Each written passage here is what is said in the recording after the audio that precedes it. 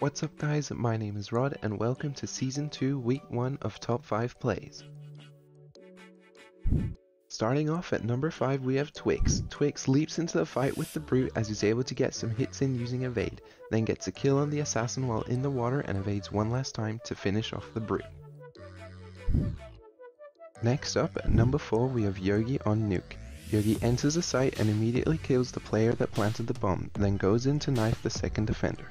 He then throws down a smoke for cover, but then turns right to no-scope the last bomber and defuses the bomb to win the round.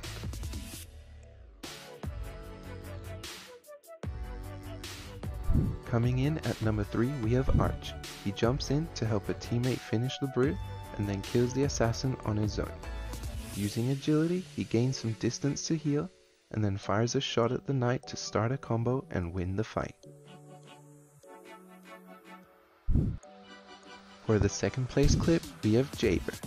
At the start of the team fight, he gets knocked off the bridge, but is able to save himself from the water below by putting down some cobblestone. As he's pillaring up, he sees an evolved player fall off the bridge as well, and is able to kill them with a bow. When he finally reaches the top, he's suddenly behind all the evolved players and can swiftly take out three of them, before running away from the last player, shooting them, and then finishing them off to win the map.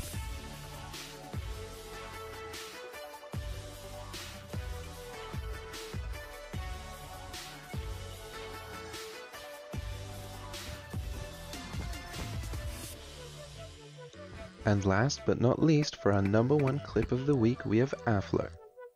He runs into the team fight and takes out one of the irons, then is able to knock the leather off the edge. He then starts a combo on another iron and chases them onto the bridge to finish them off, before turning around to fight yet another iron and hitting them into the void. A few seconds later, he runs to their spawn to take down one last full iron for the quad kill. Remember, you can submit your clips on the forums on the MCL website. My name's been Rod, and thanks for watching.